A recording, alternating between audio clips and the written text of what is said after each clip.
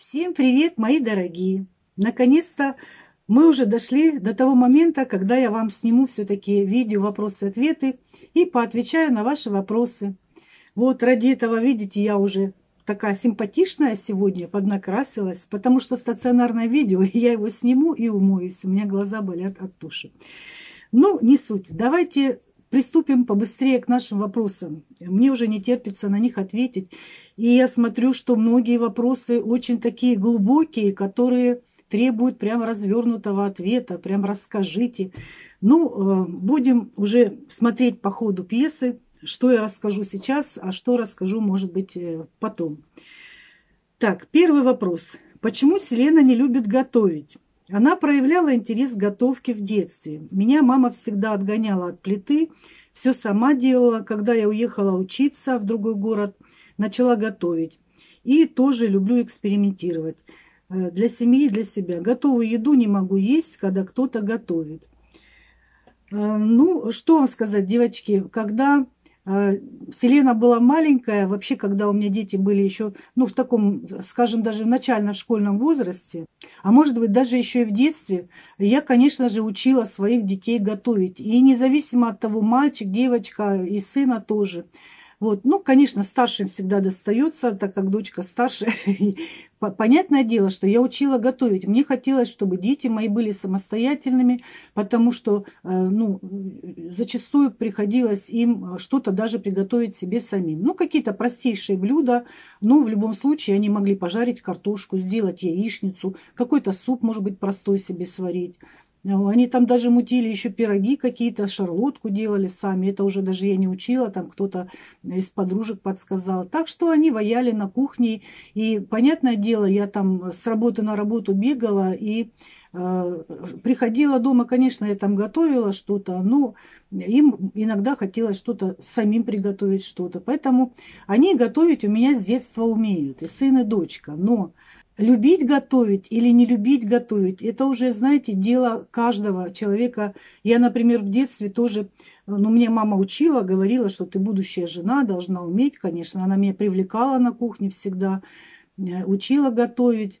Но я готовить тоже в молодости не любила. Пока я одна жила, я тоже любить, ну, не любила готовить для себя, там, для одной. Э, мне тоже иногда нравилось там где-то в столовой перекусить или где-то в кафе. Но уже когда у меня появились дети, э, семья, муж, э, понятное дело, тут уже надо для семьи готовить.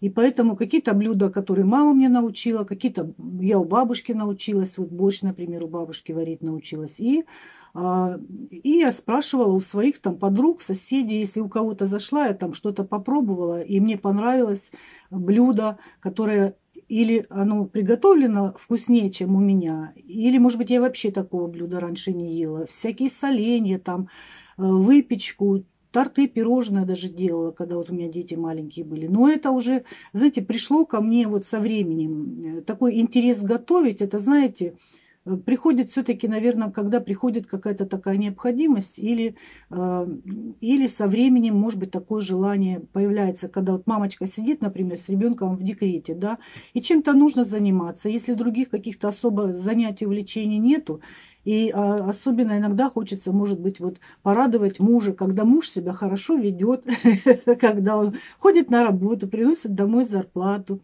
Э, и хочется его встретить с каким-то вкусным блюдом, что-то, может быть, новенькое приготовить. А, хотелось удивить мужа своего любимого. Поэтому вот какой-то период э, был у меня такой, когда я рецептики записывала и вот какие-то разнообразные блюда готовила. Но э, потому что не было других занятий у меня тогда. Дочка, например, занимается блогерством, которое отнимает очень много времени и сил, при том, что сейчас куча разнообразных готовых блюд уже продают, или полуфабрикатов, или уже готовых. Поэтому ну, нет необходимости. В общем, девочки, каждому свое, понимаете. Я э, думаю, что каждая женщина находит для себя э, что-то, занятие по интересам. И потом э, кому-то нравится, может быть, больше деньги зарабатывать, чем заниматься домашним хозяйством, стоять у плиты, заниматься уборкой и так далее. Так что ничего страшного нету. То есть, если у нее нет желания, нет любви готовить, ну, это ее личное дело. Пусть живет как хочет.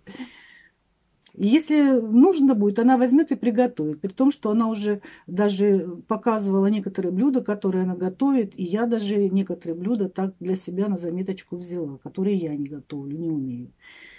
Следующий вопрос. Как планируете отметить Новый год? Дома или у детей? Что будете готовить? Ну, на Новый год, наверное, многие уже из вас знают, что меня пригласила дочка, и э, там еще будут родственники. В общем, короче говоря, э, стол накрывает она, но не она одна. Что-то она закажет, что-то приготовим, что-то вот э, сын там с невесткой собирается приготовить. Что-то я приготовлю. Но пока что говорить не буду, что. Пусть это будет в секрете, потому что это может еще что-то измениться, переиграться, поэтому заранее я не говорю. Вообще, э, знаете, вот обычно планов никаких я не строю, тем более сейчас в наше время что-то планировать вот наперед как-то, ну, не знаю, все меняется. То локдаун, то еще что-то там закрывается, то, то еще какие-то перемены, изменения. Кто-то может заболеть, кто-то чего-то. Поэтому сейчас далеко в будущее заглядывать прям даже нет. То есть мы можем предполагать. Вот, да? Поэтому, ну, если меня дочка зовет, то я пойду, а куда же я денусь с подводной лодки, раз семья вся собирается, а мы собираемся по праздникам. Э, не так-то часто приходится нам встречаться всем вместе одновременно. А поэтому пойду, я поприсутствую там, приму участие, как говорится, в семейной движухе.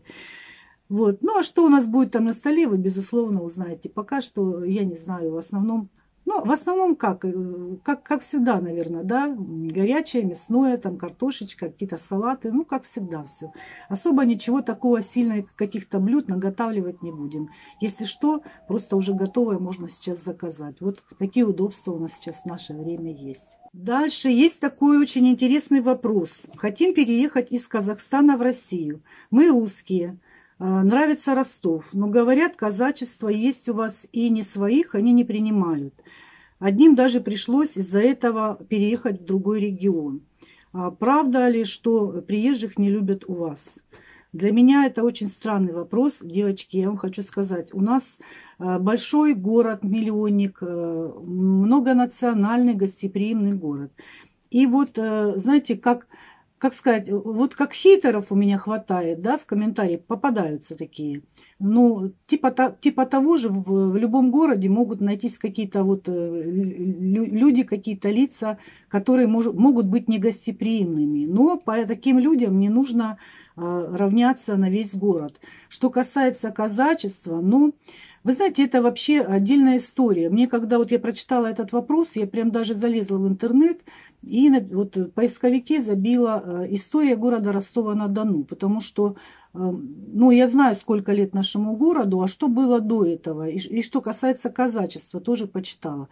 Но я вам хочу сказать, что вот э, река Дон, вот на береговой линии реки Дон раньше жили казаки, и э, до сих пор у нас существуют станицы. Вот Александровка, это у нас такой район, как в городе, да, э, это тоже была раньше станица Александровская. Тоже здесь вот э, на побережье Дона тоже жили казаки. Но э, такое понятие, как казачество, это не национальность. Это вот, э, ну, это вот жили такие люди. Я не могу сейчас это все объяснить, и потом это очень долго. Не буду говорить. Казаки жили на Дону еще э, раньше, еще задолго до основания города Ростова-на-Дону. Там с 1500 какого-то года, а Ростов у нас появился уже в 1749, по-моему, году. Вот.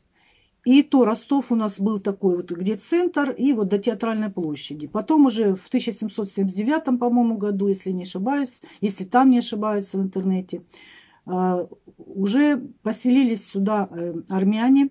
Армяне это беженцы были с Крыма, ну, в общем, это беженцы с Крыма, там, с Кавказа, которых притесняли, геноцид там армянский был, если кто знает.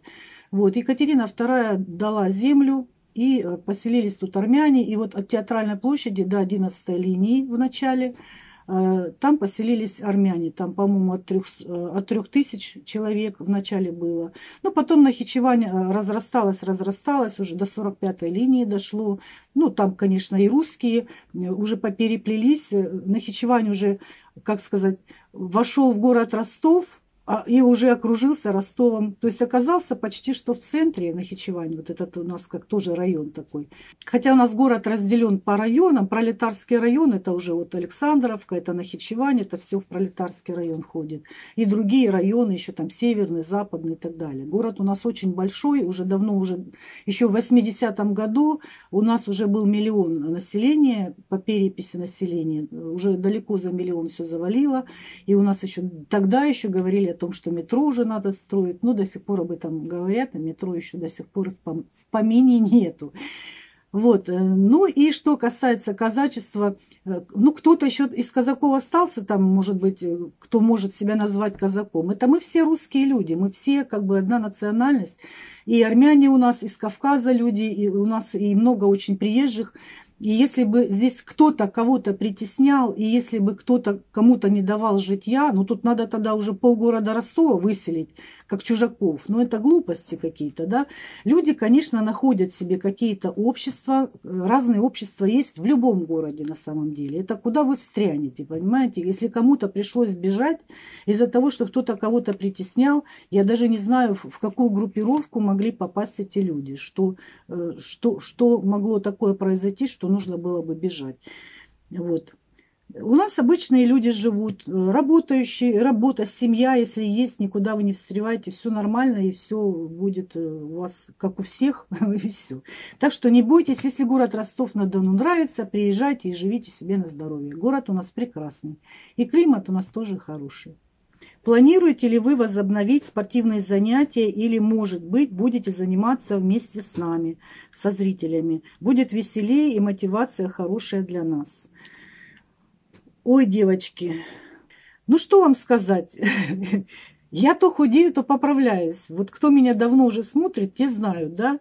То я взялась, начала худеть, э, какой-то вес, может быть, сбросила, а потом худеть мне надоедает, я начинаю скучать по своим вкусняшкам и начинаю их уже кушать, кушать, и начинаю опять набирать вес. в общем, у меня вот так вот все время качели. То я худею, то я не худею, то я опять худею, то опять не худею. В общем, Мотивация худеть у меня просто сейчас слабоватая. Она у меня получается намного слабее, чем любовь к этим всяким вкусняшкам. Но потому что, когда худеешь, вот я, например, ем еду, которую я не люблю. А и мне то, что я люблю, есть нельзя, получается.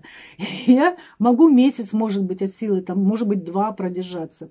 Но я начинаю скучать по своим любимым вот этим картошечка жареная, там, я не знаю, пирожки, может быть, какие-то бутерброды, там, булочки, может быть, какие-то пирожные. Ну, я начинаю скучать по жирному. Я люблю, между прочим, жирную еду а ее тоже как бы нельзя есть, когда худеешь. Поэтому у меня вот такие качели. Вот у меня вдруг захотелось, я так вот взялась и начала. Ну вот держусь, насколько могу.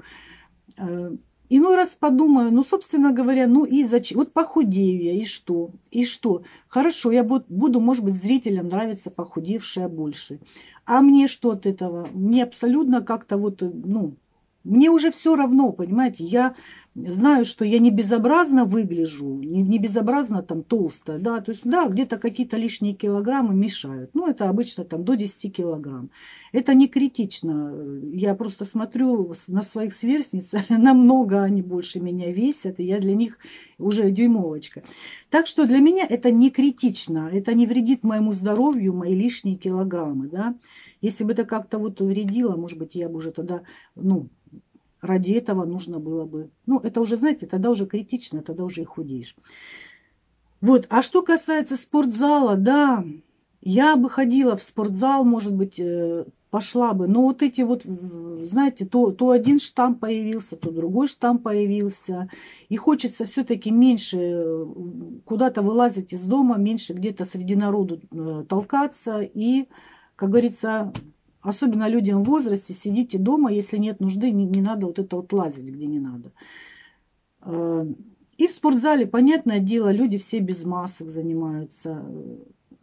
То спортзалы закрывают, то, то не закрывают. В общем, не поймешь что. Я все-таки э, жду еще. Мне все время кажется, что вот-вот уже скоро все это дело как-то закончится. Ну, э, пока что это. Но если, конечно, прям уж сильно захочется, я, конечно, пойду. Но, может быть, может быть, даже не зимой, а после зимы. зимой как-то вот сильно особо вылазить из дома не очень-то хочется, потому что у нас, даже если не так уж сильно там снега и морозы, но у нас ветра. И даже вот то, что сейчас у нас на улице сейчас минус 10, дует сильный ветер. То есть это по ощущениям как минус 20. Ну а что касается дома заниматься, дома заниматься иногда тоже я начну, но надолго меня не хватает. Ну вот так вот, вот у меня куча отмазок начинаю. Придумываю сама себе кучу отмазок. И думаю, о, придумала отмазку, можно не заниматься. Ну, нет у меня такого рвения. Ну, люди разные. Есть люди, которые прям вот не могут без спорта, без этого всего. А я могу. Вот. Поэтому, ну, будет желание заняться, займусь опять временно, может быть. Так, ну, как-то я ответила на этот вопрос, наверное. Какие программы или ток-шоу смотрите по ТВ, по телевидению? Девочки, вот мне нравится, когда обычно в конце года, вот зимой начинаются э, программы «Голос», я люблю, потому что я, э, у меня хороший слух, хотя вот я раньше пела хорошо, сейчас уже этим похвастаться не могу. Э, и я очень слышу талантливых людей. Я хорошо слышу какую-то где-то фальш в музыке. Вот. И мне нравится также танцы смотреть, но все-таки вот, знаете, если, если в одно время будут показывать голос и танцы, то я буду смотреть голос, а танцы буду смотреть в повторе, либо могу пропустить, ничего страшного. А голос меня как-то больше интересует. Ну и программы «Ты супер», например, тоже э, люблю вот больше всего музыку, слушать музыку, песни. А, какие-то вот такие вот. Э, я люблю талантливых людей. Сейчас вот много появляется новых талантливых людей. Вот. Опять-таки я обожаю Димаша. Это талант из талантов, которых я просто не слышала больше вообще. Ну и много появилось, много сейчас появилось новых таких вот маска, да, программа, потом а, шоу «Мозгу он» тоже с удовольствием смотрела. Ну, в общем, больше как-то мне нравится, что связано с вокалом. Такие больше передачи мне нравятся. А вот еще один такой вопрос. А вы кололи ботокс или хотите? И есть ли э, в мыслях что-нибудь убрать хирургическим путем или ботоксом? А вы знаете, девочки, я вот когда смотрю сейчас э, на вот этих звезд, которые уже в пожилом возрасте находятся и которые делали себе какие-то пластические операции, ботоксы и вот что-то в этом роде, и мужчины, и женщины, актеры. И я смотрю, насколько преобразилось до неузнаваемости их лицо, насколько это все расплылось, в общем, непонятные формы какие-то, и у них все лица даже какие-то похожи друг на друга стали, как инопланетяне. О, Господи, простите, если кого-то там задела. Ну, а это по факту так. Понимаете? И вот я думаю, как бы этот актер выглядел, если бы вот сейчас, как бы он выглядел, если бы он не делал этих пластических операций, а ему, допустим, сейчас около 60 лет. И как бы он сейчас выглядел?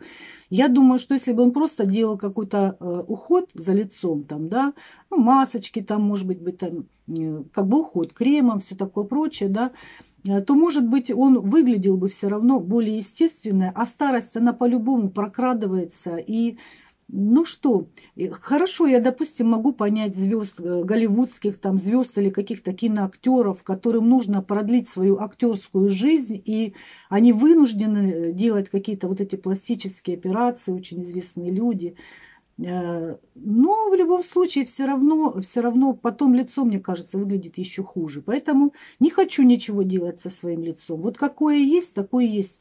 Естественное старение пусть будет. Пусть я буду с морщинками, ничего страшного. Главное, когда у человека улыбаются глаза, то тогда человеку все равно приятно выглядит, несмотря на эти морщинки. Они могут быть добрыми морщинками.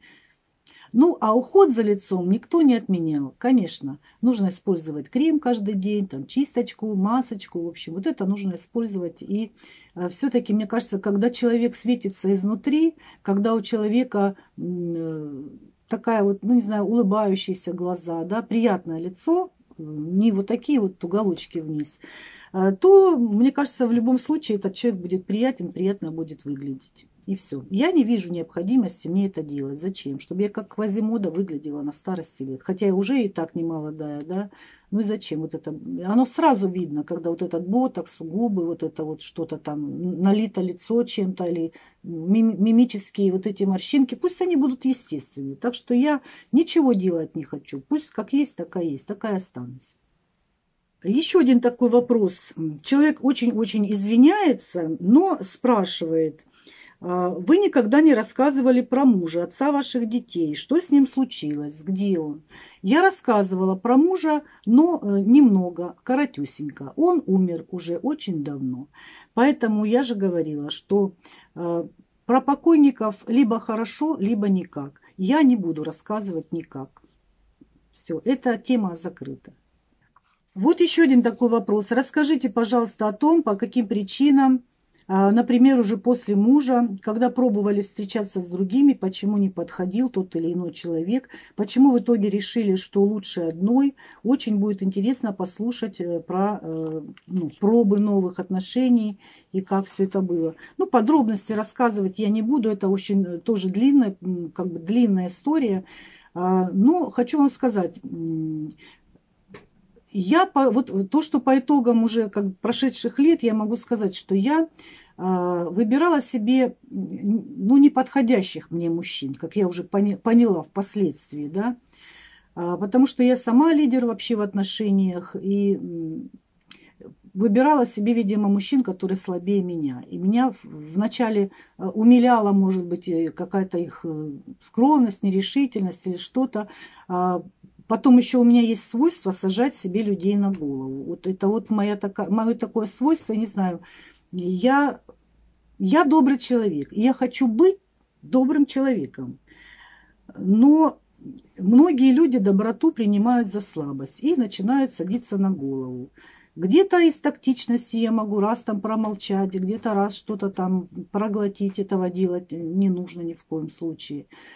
Где-то я не люблю просто с кем-то воевать, с кем-то там спорить, ругаться. Ну, в общем, где-то попустительство мое а, в конце концов приводило к тому, что человек меня начинал уже раздражать, я начинала его уже ненавидеть, и я уже просто понимала, что не хочу рядом с собой видеть этого человека. И с этим я расставалась, со всеми, со своими мужчинами, в общем. Все, кто у меня был, со всеми расставалась я сама по собственной инициативе. И потом уже, когда мне было э, лет 45-44, вот так, я тогда уехала в Москву, и э, походила я на тренинг. Э, мне хотелось, знаете, узнать больше, понять себя, почему у меня так происходит. Какие-то книги почитала, где-то там на тренинг походила. В общем, в итоге я поняла, что вообще на самом деле не обязательно быть замужем. Мне просто вот с детства мама внушала, что женщина должна выйти замуж, должна родить детей. То есть это как бы вот должна, это сущность женщины, это ее обязанность как бы, да, то есть по-другому быть не может. И вот когда я поняла, что по-другому быть может, то я, я э, давно уже понимала, что когда я со своим человеком, мужчиной расстаюсь, я становлюсь счастливой. Как только с кем-то схожусь, через какое-то время я становлюсь несчастной. И в итоге зачем мне это нужно? Я поняла, что мне мужчина не нужен. Для того, чтобы быть счастливой, мне нужно быть одной. Понимаете? Я сама могу себя любить лучше, чем кто-либо другой. И сама делать для себя вполне могу все, что нужно, э, чем я всегда, в общем-то, и занималась. Вот полюбить себя, это самое главное, что мне нужно было. И быть счастливой, просто быть одной. А мне одной кайфово. Мне не нужен кто-то, чтобы для меня был. И, кстати, где-то там еще есть вопрос, допускаете ли вы э, еще раз влюбиться? Боже упаси. Нет, ни в коем случае. У меня даже мыслей таких в голове нету. Я даже не представляю себя рядом, там, чтобы кто-то со мной еще тут жил. Э, и делал мне нервы. Я самодостаточный человек, все, что мне нужно, сама себе заработаю, сама себе сделаю. Не нужно ни у кого спрашивать разрешение. И, э, в общем, не нужен мне никакой тут рядом раздражитель. Вот так. Следующий вопрос. Собираетесь ли вы в ближайшем съездить куда-нибудь, отдохнуть и куда? Что бы хотелось посмотреть э, очень бы хотелось посмотреть, как вы проведете отпуск, ну и отдохнуть вместе с вами. Да, девочки, хотелось бы, я до сих пор не отпускаю мысль, что мне хотелось бы съездить какой-нибудь в санаторий отдохнуть. У меня есть такие воспоминания еще из молодости, когда я ездила в санаторий, и как там было классно. Но пока не пройдет пандемия, никуда я дергаться не хочу. Потому что, вы знаете, вот, э, несмотря на то, что я все-таки привилась, э, у меня все равно есть такие опасения, там то эти штаммы меняются, то э, есть такое опасение, вдруг я куда-то приеду, там заболею, на чужбине. И при том вот эти вот локдауны, там маски вот эти постоянно, все это как-то так мне говорит о том, что сиди дома и не рыпайся, пока вот это все не закончится. Потом уже, когда будет, можно будет свободно дышать без масок, вот тогда я, может быть, и поеду. А сейчас пока что вот, ну, я-то об этом сильно так прям не беспокоюсь, не мечтаю прям. Э, что спать не могу, что я мечтаю только прям куда-то поехать. Ну, э, такие мысли вообще иногда бывают у меня в голову приходят. Да, было бы классно, конечно, если бы я поехала и поснимала там, может быть, что-то. Но всему свое время. Время еще, значит, до этого не пришло. Какие подарочки вы приготовили своим родным? Хотелось бы увидеть обзорчик. Э, подарочки от вас и подарочки вам. Девочки, я не готовилась в этом году особо никаких таких подарочек. Я просто так э, решила, что вот внуков поздравить надо обязательно, потому что это дети. Но с другой стороны, в наше время, в наше время мы радовались вот этим вот подарочкам, где там конфетки, мандаринки, и мы им радовались, потому что у нас так в повседневной э, жизни как бы конфетками, мандаринками э, не баловали родители, ну, по крайней мере, вот как в моем воспоминании. И когда на Новый год мы получали вот эти вот подарочки, сладости, шоколадочки, там, не знаю, мандаринки ассоциируются с Новым годом, тоже это было не, не в будничные дни. Сейчас внуков, ну, ничем не удивишь, у них есть все, у них есть все, из одежды все есть, конфеты и мандарины едят они каждый день, вот этими подарочками их не удивишь. Поэтому я не стала сильно заморачиваться в этом году я решила э, просто подарить деньгами э, сыну и дочке. Я дала денег и сказала, купите э, внукам то, что вы считаете нужным, то, что им нужно. В общем, скажите, что это от меня подарок, ну и все. Да, нет, сюрприза не будет. Под елочкой подарка не будет. Не, может быть, это там под, под елочку и что-то кто-то положит. Но, во всяком случае, я им сказала, вот, э, вот вам деньги, купите, что хотите, э, внукам и себе. В общем, все, я голову ломать на эту тему решила не буду. И все. Потому что, и, тем более, я не люблю ненужные подарки. Вы знаете, я хочу сказать честно, терпеть не могу ненужные подарки. Поэтому вот когда люди дарят деньгами, тогда уже знаешь, что, что ты конкретно хочешь, пойдешь и это купишь. И это будет тебе нужно, и это будет тебя радовать. А, а когда дарят ненужные подарки, и, и, и неудобно их передаривать кому-то, и потом эти подарки перекладываешь с места на место, и, в, и вроде выбросить не можешь. Если ты сам купил что-то ненужное, смело бы выбросил бы, кому-то отдал и уже не парился на этот счет. Но когда вот это кем-то подарено, и начинаешь перекладывать, тут свои вещи не знаешь, куда девать, начинаешь перекладывать с места на место этот подарок годами, пока не решишься в конце концов от него куда-то избавиться. Поэтому я не люблю ненужные подарки. Поэтому прошу мне тоже, вот прошу мне не дарить э, каких-то вот сюрпризов, не люблю, честно. Ну вот такой человек, что поделаешь. Какие планы на 22 год? Девочки, э, вот не заглядываю я так вперед. Планов у меня никаких нет, потому что все зависит от, опять-таки, обстоятельств. Вот какие будут обстоятельства, такие будут планы. Я дальше, чем на неделю, вообще стараюсь не заглядывать. Я могу предполагать, но, как говорится, Бог располагает, да. Поэтому что там будет, э, как там будет, я не знаю. Вот, э, закончится у нас пандемия, это будут одни планы. Если не закончится или усугубится, другие планы. Поэтому ничего не загадываю, ни, никуда не заглядываю. И потом я человек настроения. Знаете, вот у меня настроение есть такое, я делаю что-то. Нет настроения, не делаю. Я себя не заставляю. Я сама себе предоставлена. Поэтому я могу свои планы менять. Хочу так, а хочу иначе делаю. Могу передумать что-то. Заранее, вот э, вперед я так сильно не, за, не забегаю. Расскажите что-нибудь душевное про прошедшие года чтобы окунуться в прошлое. Девочки, с удовольствием рассказываю, но это, знаете, у меня бывает спонтанно, что-то в голову придет. И вот я люблю, когда я что-то готовлю, там бывает раз, вот просто в тему раз что-то вспомнила и тут же сказала. И, и почему вот когда я готовлю, я не люблю готовки снимать вот такие, как... Таких готовок много, которые маленькие ролики снимают, и чисто процесс, что зачем следует, сколько чего ингредиентов положили, и все. Ну, такие ролики, это чисто такие технические ролики, я не люблю снимать. Поэтому я стала всю свою готовку снимать уже во влогах, и в процессе я с вами болтаю, как будто вы присутствуете рядом со мной, да. И вот если я какой-то вспомнила что-то в тему, в процессе, я тут же вам и рассказываю. Поэтому смотрите э, все мои влоги подряд. И смотрите до конца, и тогда обязательно что-нибудь интересное где-нибудь проскользнет. Ну, а вот это видео, которое я сейчас снимаю, тут все равно какие-то есть вопросы, которые э, где-то меня окунают в прошлое, и я что-то вспоминаю, и в процессе вот рассказываю. Поэтому Э, вот сейчас еще будут вопросы, которые, может быть, вас, меня тоже окунут в прошлое. Вот, кстати, следующий вопрос тоже вот идет к прошлому, ведет к прошлому. Знаете ли вы свои армянские корни более глубоко, а именно по какой причине ваши родственники армянские оказались в Ростове? Видео «Мои армянские корни» имело очень большой успех. Да, кстати говоря, кто это видео не видел, оно так и называется «Мои армянские корни». Можете посмотреть, э, окунаемся мы туда в 96 год. Э, там есть у нас видео, съемки. И как раз вот отмечали день рождения э, моей тети. Юбилей тогда 50-летие было. И вот армянская семья наша собралась. Мы там пели и плясали. Я там пела много. Вот, хотя уже, конечно, многих э, людей и уже нет в живых из этого видео.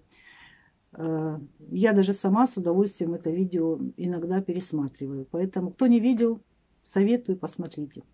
Вот, ну а э, что касается вопроса, знаете ли вы свои армянские корни более глубоко. А именно по какой причине э, армянские родственники мои оказались в Ростове. Ну, что касается вообще даже образования вот Нахичевани в Ростове, да, а, были же беженцы, э, бежали там от геноцида, кто-то от крымских татар бежал, кто-то там еще э, от каких-то других там, от другого геноцида. Ну, в общем, в любом случае, приезжали у нас армяне, поселялись, разрастались и жили. А, что касается моих родственников, в каком точно году, я не знаю, потому что, ну, я еще в детстве как-то вот у бабушки интересовалась э, историей, как бы э, ее рассказы слушала про э, наших армянских родственников, про ее родителей, там, бабушек, дедушек и так далее. Поэтому год, я не помню, даже говорила она мне или нет, в каком году они приехали в Ростов но приехали, и я просто знаю, что моя мама, она вот застала еще прабабушку свою, они жили на 16 линии, и мамина бабушка, мамина прабабушка, вот они уже жили, да, но это точно до революции они поселились. А, и тогда моя бабушка родилась в Ростове и два ее брата. А до этого у них еще там было несколько детей, которые они вот, ну, в молодых, в младенческих, в детских годах умирали. Вообще тогда много было семей, где много детей рожали, и а, часть детей умирала. Наверное, от детских болезней тогда что-то не делали, там этих прививок или что-то. Также у папы было 8, по-моему, детей в семье, осталось только трое, вот, по крайней мере, после войны. И вот у бабушки тоже их осталось трое. Ну, и дядьки, э, бабушкины братья, они дожили до старости, так как и моя бабушка. И я их помню тоже в детстве. Вот. Но я уже не застала э, бабушкиных родителей, там бабушек, дедушек, вот этих я не застала. Я знаю, что они жили в Нахичеване, и они похоронены на армянском кладбище в Нахичеване. Там с бабушкой я ходила на это кладбище, и там большой такой был участок, могил 8, наверное, было. Ну, это вот были там бабушки, дедушки, детки, которые вот эти вот. Э, вот. Ну, это все, что я просто знаю из истории своих армянских родственников. Дядя мой еще жив, ему уже за 80. Расскажите, как приняли Наташу в семью? Сразу ли понравилась, э, понравилась невестка? Не было ли конфликтов? Для меня актуально. Взрослый сын, я э, готовлюсь морально. А, ну, на этот вопрос я вам хочу сказать. Я своих детей воспитывала так, а, я им объясняла, что все, что вы в своей жизни делаете, вы делаете для себя. Все свои решения, все свои ошибки, вы все это делаете для себя. Вы должны, если какие-то ошибки делаете, должны их исправлять сами. Э, если вы э, там будете жениться, выходить замуж, вы половину себе подбираете, а не мне, вам жить. Я сегодня есть, завтра меня нет. Вот так, все. А, и я их с детства приучала к ответственности, вообще к ответственности за свою жизнь, за свое будущее, за все, что они делают. Получил двойку, ну, это вот тут же объясняю, что вот ты, сынок, двойку получил, но это оценка, это твоя оценка, твоя оценка твоего будущего, да. Ты получаешь знания для того, чтобы в будущем тебе было легче, да. Если ты двойку получил, значит, ты этих знаний не получил, и хуже тебе, а не мне. Мне-то что? Я же говорю, сегодня есть, завтра нет, мама, вот так. Это ваше будущее, ваше самостоятельное решение. И вот как-то так я уже стала доверять своим детям, что они самостоятельные, что они могут самостоятельно думать, самостоятельно принимать решения, еще даже до совершеннолетия. Поэтому, когда мои дети подросли, я уже прекрасно понимала, что они могут без меня обходиться, прекрасно могут самостоятельно жить, самостоятельно думать. Это очень важно, потому что есть, э, конечно, родители некоторые, даже вот среди моих знакомых, где опекают э, своих детей, уже дети взрослые, и уже им бы и жениться бы, там уже и, до 30, и за 30 лет, и 40 лет – а мамочки все нянчатся со своими детьми, которые не могут даже коммунальные платежи оплатить, не знают, как это делается. И, естественно, не могут, э, они не могут нормально ориентироваться в жизни, когда за них все время родители, мама там все время решает, все время опекает. Нужно давать детям самостоятельность, нужно им доверять. И э, если они даже в каких-то молодых годах э, где-то там оступятся, ну, а кто не, кто не падает из нас? Все делают какие-то ошибки, оступаются. А, значит, э, на этом учатся, на своих ошибках учатся. И даже если человек сделает какой-то неправильный выбор, но он все равно потом исправится в следующий раз, уже будет учитывать свои ошибки, не чужие, а свои. И уже научится делать правильный выбор. Ну, то есть каждый человек должен прожить свою жизнь самостоятельно. И каждый ребенок – это не наша собственность. Нам дети даны для того, чтобы мы научили их ходить, говорить, ложку держать в руках, там, где-то поухаживать за собой правильно, да. И также мы должны научить их самостоятельно мыслить, чтобы они принимали свои собственные решения. С детства нужно к этому ребенка как бы подводить. И то, что за свои поступки тоже придется отвечать. Поэтому я своим детям всегда доверяла и, в общем-то, э, э, как сказать, я, я люблю своих детей, и я, я знаю, что они, они сделают правильный выбор, да, то есть правильный выбор, по крайней мере, для себя. Для меня очень важно было, чтобы мои дети были счастливы, потому что человек вообще, мне кажется, рожден для того, чтобы быть счастливым. Это вот самое главное наше, как сказать, существование да, на, этой, на этой земле. Человек рожден для того, чтобы быть счастливым, а не наоборот. Поэтому понятное дело, что когда меня сын познакомил э, со своей девушкой, когда он сказал мне, что он ее любит, что хочет на ней жениться, естественно, я хорошо приняла человека. Если я знаю, если я знаю, что моя невестка любит моего сына, я тоже люблю э, моего сына, у нас уже с ней общие интересы, да? Почему бы мне ее не любить? Так что э, люблю я своих детей, и я уважаю их выбор. Никуда я не лезу, никому я в семью не лезу, ни к сыну, ни к дочке. Они живут там сами по себе.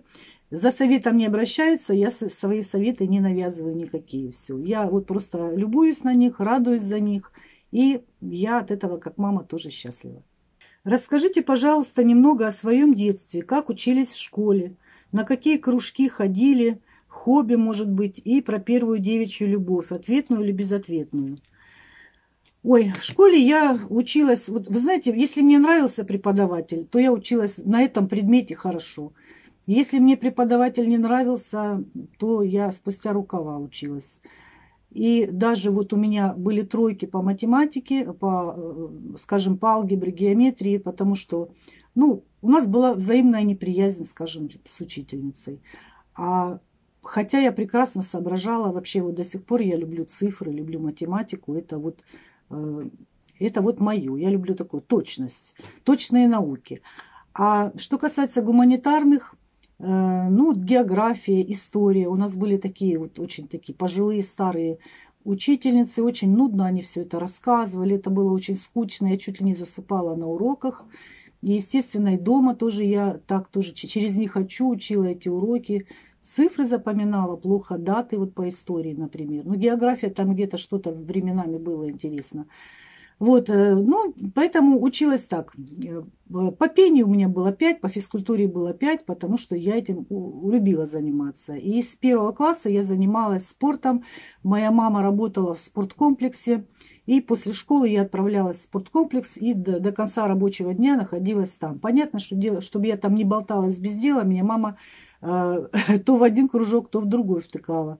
Ну, собственно говоря, у меня как бы обнаружилась гибкость. С самого детства я была гибкая. Значит, первым делом меня отправили на э, гимнастику, но мне там не понравилось. И потом на плавание э, тоже она меня отправила. Сначала мне тренер не нравился один, поэтому я там просто как бы купалась сама по себе. Потом пришел один молодой красивый тренер. Я в первом классе училась, а тренеру было тогда года 22-23 такой ну, интересный молодой человек был. И вот э, тут уже, знаете, мне он понравился, и я стала заниматься всерьез плаванием. И до пятого класса я занималась плаванием. А, и успехи у меня там были. Третий взрослый разряд по плаванию был в третьем классе. Э, да, третьем. Ну, начало пятого, начало пятого класса я уже забросила плавание, и мама моя как раз со спорткомплекса ушла. А, поэтому э, я потом ходила на гандбол, волейбол, такие еще какие-то. У нас все время приходили в школу какие-то тренера и постоянно куда-то зазывали в какие-то кружки. И спортивные кружки у нас были бесплатные. И у нас э, каждый ученик обязательно чем-то где-то занимался. У нас это ну, как приветствовалось. У нас не было даже ни одного школьника в то время, э, который чем-либо не занимался бы. Ну, а так как мне спорт мне давался легко, поэтому занималась я спортом. Ну, а уже там в восьмом классе вот у нас была такая интересная, тоже молодая, симпатичная учительница по пению. И она э, самых талантливых э, учеников собрала в такой кружок. Это у нас была вокальная группа. Мы после э, уроков оставались, там репетировали какие-то песни, какими-то голосами, она нас разбивала по голосам, но это было мне интересно тоже, я занималась. И уже когда закончила восьмой класс, она организовала ансамбль, и я ездила туда специально на западный, там в НИИ встречались мы. И вот э, уже там я, это первый мой ансамбль, где я начала в ансамбле петь, тоже какие-то выступления, ну в трудовых коллективах мы такие выступления там были у нас.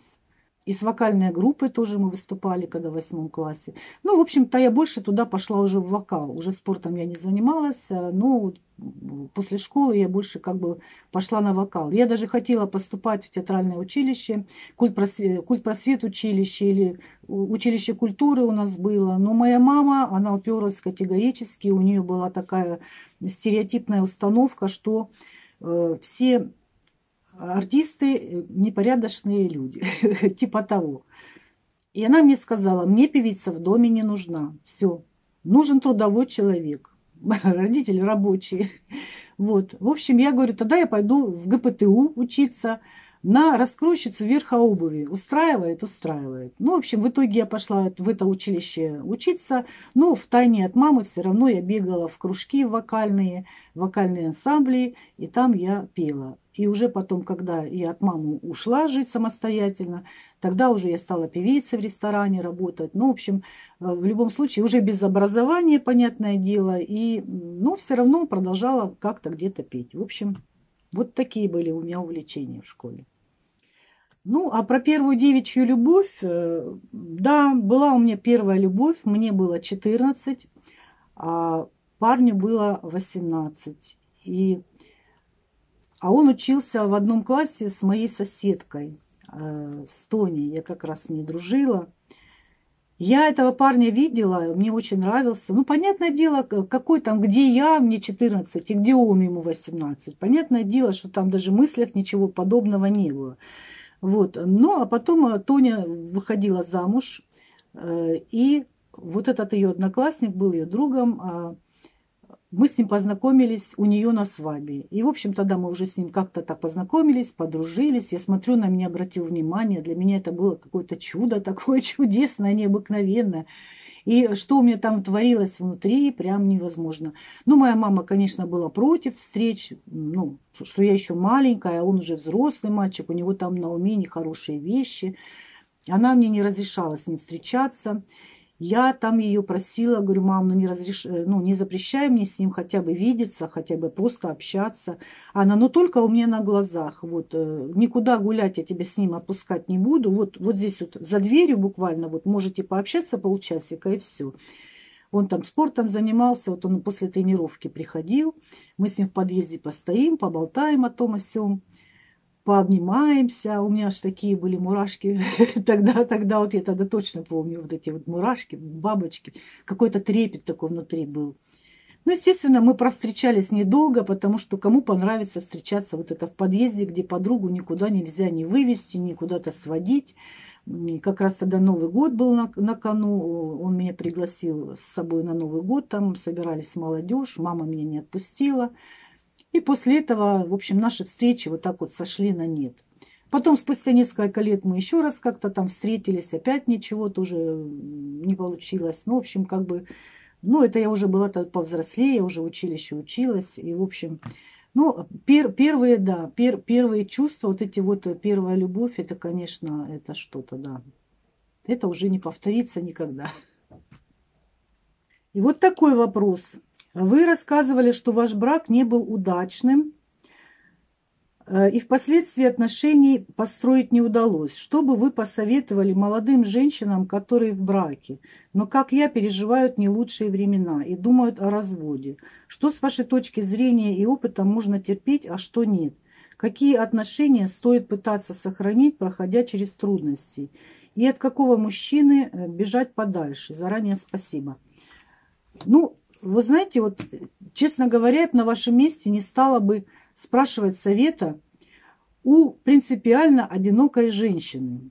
У меня, конечно, опыт есть, но то, что я поняла уже впоследствии, а, то я бы этот весь опыт перечеркнула бы. И уже как-то, знаете, вот если бы я сделала какие-то выводы и решила, что да, нужно делать по-другому, и стала бы делать по-другому – но я просто поняла, что я по-другому не могу, и я не могу быть другой. Вот такая, какая есть, у меня ничего не получится. Это просто у меня уже, знаете, что заложено, то заложено. Вот еще как-то, не знаю, с молоком матери или с воспитанием матери какие-то, может быть, она делала ошибки в этом воспитании и закладывала, может быть, не совсем правильные вещи. Но это потому, что она сама ошибалась. Но у нее разница в том, что она вышла замуж за человека в нее влюбленного, который ее все время носил на руках. Она позволяла себя любить. Вот если бы она научила меня с детства позволять себя любить и самой ни в коем случае не влюбляться, потому что у нас уже такие розовые очки, шторки опускаются, и мы начинаем э, ну, оправдывать своих мужчин, э, где-то что-то промолчать, где-то что-то перетерпеть. Но я, например, вот сейчас уже человек нетерпимый, нетерпимый я к таким вещам, где, где что-то вас оскорбляют, на вас руку поднимают, если мужчина гуляет и, не знаю, денег домой не приносит. То есть вы должны сами определиться, э, что для вас приемлемо, а что для вас неприемлемо, что норма, а что нет. Э, вы можете с этим жить, вы хотите с этим жить или вы не хотите с этим жить. Вот вы должны сами определиться, для себя решить, что терпеть, что не терпеть. Потому что я, э, еще раз повторюсь, человек рожден для того, чтобы быть счастливым. Если вам приходится что-то много терпеть, то, что вам не нравится, если вы не чувствуете себя счастливой в, в, это, в этих отношениях, э, а зачем их тогда терпеть? Некоторые женщины терпят, потому что боятся одиночества. Значит, тогда вам нужно, ну, как бы сказать, чтобы не бояться одиночества, человек, человеку должно быть самому с собой не скучно. Человек должен быть наполнен чем-то, да. Э, я, я например, вот для, для меня неприемлемо мужику в рот заглядывать. Вообще очень много на эту тему рассуждает моя дочка, и она в своих видео, там же, где вопросы и ответы, ей тоже аналогичные вопросы задают. И она, у нее очень хорошо, э, как говорится, подвешен язык, она может э, доходчиво это все объяснить, даже лучше, чем я, потому что я сейчас уже многих слов не могу найти, чтобы объяснить. И потом, опять-таки, а что равняться на мой опыт?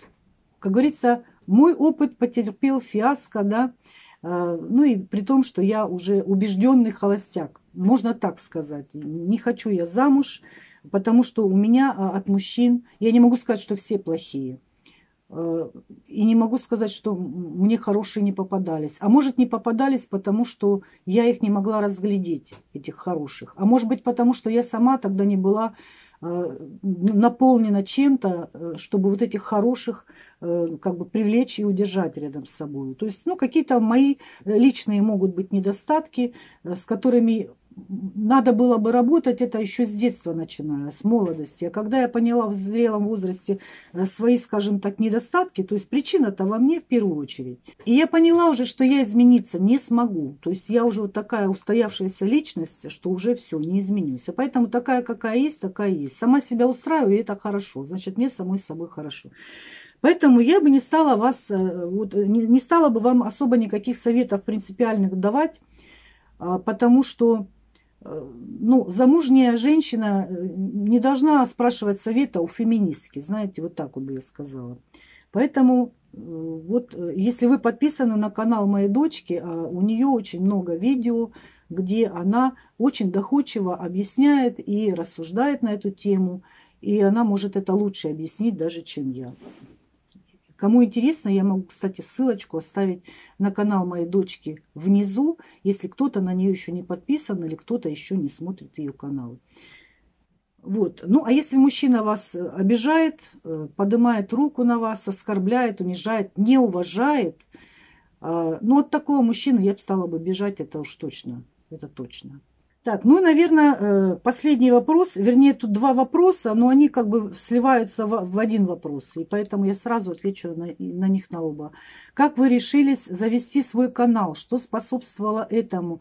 И как все начиналось? С какими трудностями столкнулись? И как реагируют ваши друзья и знакомые, сверстники на то, что вы стали блогером? Поддерживают э, ли вас или скептически настроены? Ну и другой вопрос, почему вы стали снимать видео, э, что вами двигает, доход от скуки, известность, или вам просто это нравится. Вот, кстати говоря, вот это то, что перечислили, почти все отвечает на этот вопрос. Э, кроме известности. Вот известность, она как бы мне не нужна. Э, была бы я молодая, там вся себе такая, раз такая, то, может быть, мне это было бы интересно. Сейчас в моем возрасте мне эта известность, она как бы не нужна. Ну, а все остальное, конечно, и доход, и от скуки, и просто нравится, и просто интересно мне вот это вот снимать. Э, вот поэтому и снимаю. А что способствовало? Ну, дочка у меня блогером уже давно, и я очень часто мелькала, пока я вот с ней проводила много времени, пока Денечка был маленький.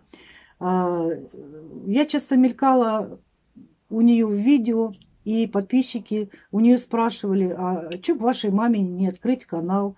И, в общем-то, ну, открыли и открыли. Я решила попробовать.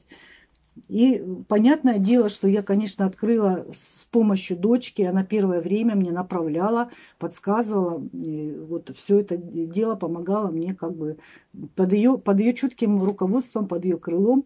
А первое время я снимала видео, еще такие нерешительные. А потом уже как-то вот все уже поняла, и как видео монтировать, и э, как, как, что лучше снимать. И сейчас уже давно я самостоятельный блогер, самостоятельно все снимаю. А что касается каких-то трудностей, я опять-таки же говорю, у меня есть наставник в виде моей дочки.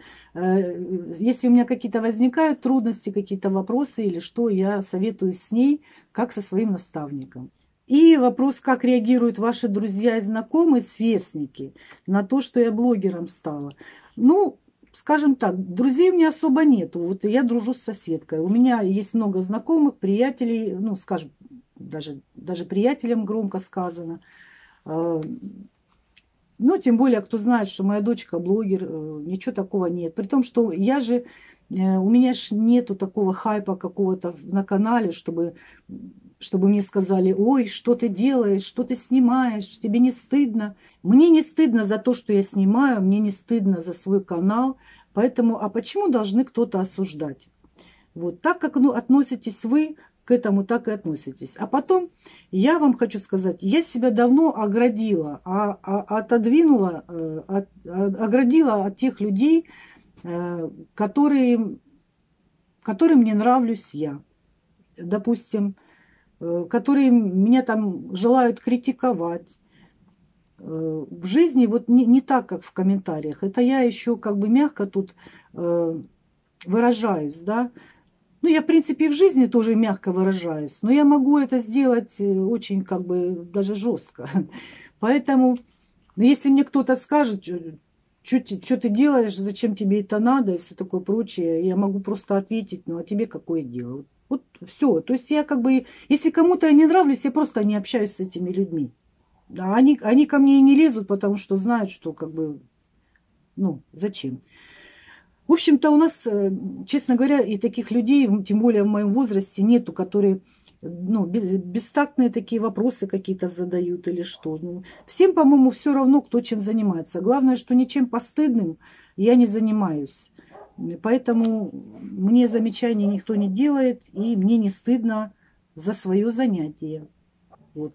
Ну, а в основном те люди, с которыми я дружу, меня поддерживают, конечно. Вот соседка иногда мои ролики смотрит, хотя она может поприсутствовать при съемках там чего-то. Ну, сама она очень стеснительная, а, в смысле вот стесняется сниматься, поэтому я ее не снимаю. Не снимаю никого, кто не хочет сниматься. Вот и все. Вот, мои хорошие, ну, вроде бы я как бы на все вопросы я ответила. Некоторые вопросы не тактичные я опустила. Не стала я их не озвучивать, не отвечать, э, потому что хайпиться на своей семье я не собираюсь. Поэтому те, кто задавал какие-то сугубо личные вопросы, что касается меня, моей дочки, там, э, я отвечать на это не буду. Я наснимала уже, смотрю, довольно длинное видео и думаю, что на большинство вопросов я ответила и с удовольствием ответила. И надеюсь, мои ответы, в общем-то, удовлетворят ваши вопросы. Да? Ну, а на этом я хочу свое видео закончить. Кому видео понравилось, ставьте лайк. А, пишите комментарии. У кого, может быть, по ходу этого видео какие-то еще вопросы возникли. Ну, уже буду я отвечать либо в комментариях, либо, если какой-то развернутый ответ, могу ответить уже во влоге. Смотрите мои влоги, не пропускайте, потому что я там тоже люблю поболтать в процессе э, какого-то хождения или э, приготовления какого-то блюда. Поэтому, если вы видите в названии видео название блюда, вы не думайте, что я там только вот режу и все. Я там обязательно что-нибудь по ходу могу и рассказать. Вот так вот. Все. Всех люблю, всех целую. Всем пока-пока. И с наступающим Новым Годом!